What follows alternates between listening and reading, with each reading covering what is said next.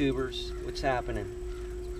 Today we're going to try to find out if we can improve our miles per gallon by taking a look at why this wheel is dragging back. Second, I'm going to spin it. You'll be able to hear the drag.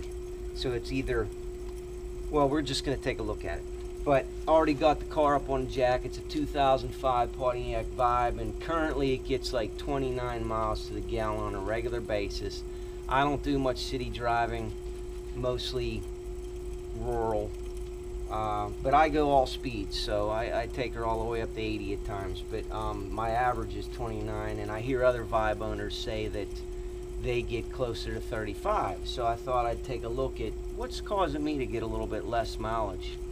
So, right now I already have this loosened off. We're to take this off. I'm going to pass along a little tip. Can you see that right there? We got 21 millimeter and we got 76 foot-pounds. I like to do that first time I get into a wheel so that next time I go in here I'm going to remember what tools I need and whenever I go to torque the nuts it's already written there and I use just a paint stick you can get that at any parts store, Napa. I bought it at Napa. I like Napa, Napa parts. So yeah, write that on there. It's permanent marker. No one can see it once the hubcap's on. So I'm gonna go ahead and take these uh, lug nuts off. Another little tip, um, right now I don't have an air compressor set up, so I just put a quick chuck in there and little cordless and it speeds everything up. I already let you listen to this first. Let me uh, thread one nut on and give it a spin so you can hear the drag. Okay, I'm gonna give it a spin, you'll hear the drag.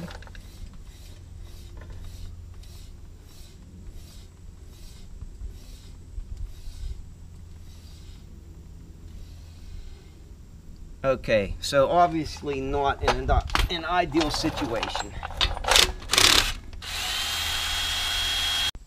Okay, YouTubers, when I went to remove the wheel, oh boy, it was galded. It was, uh, the back of this rim was just stuck really hard onto this drum. So, had to put, thread a lug nut on, and then, not all the way, almost all the way, and then come from the bottom side with a sledgehammer and just bang on the rubber, don't hit the rim and then it loosens, take your nut off and the tire comes right off. Now, when we go to put this back together, I'm gonna share a little tip so that doesn't happen next time.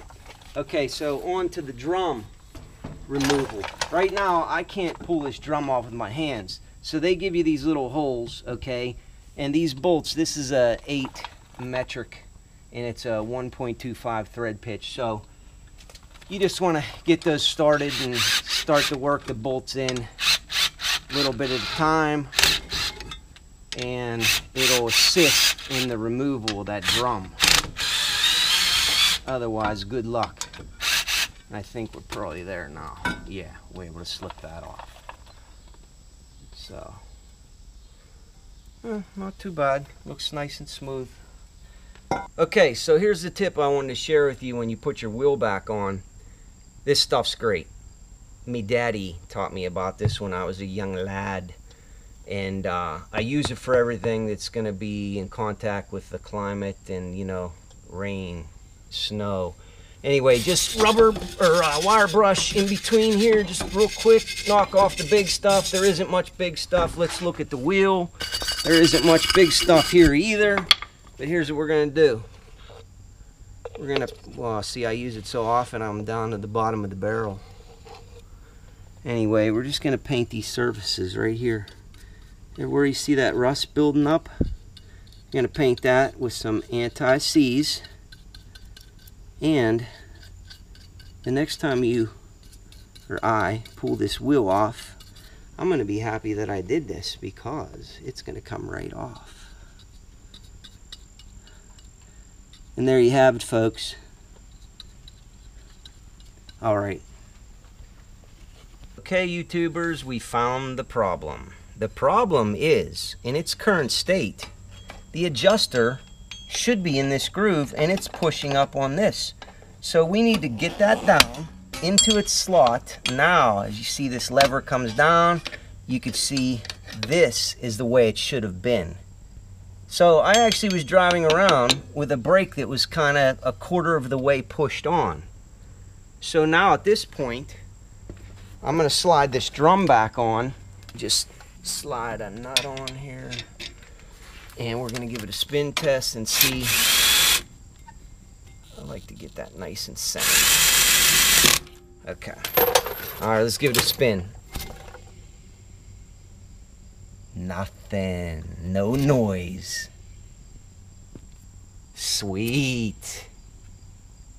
Now, I'm to zip this all back up and I'm to go fill up my gas tank and then in about a week I'm going to give an update on this video to see if I truly increased my gas mileage. Thanks for tuning in.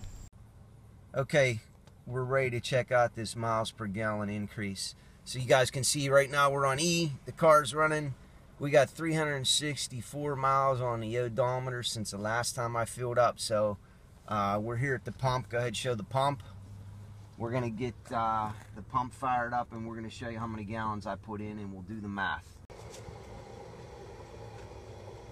Okay, I usually get about, I usually have to get a full 10 and a half gallons, anywhere from 10 and a half to 11 gallons for this uh, we'll click off and then we'll get the calculator out and do the math.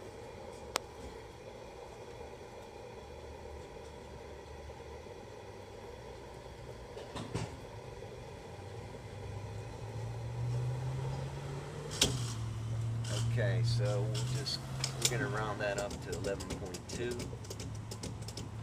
Okay, we got about 11.2. And so let me grab a calculator.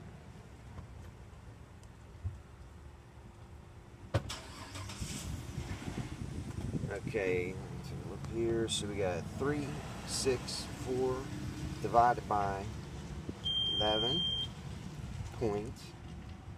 11.2 equals.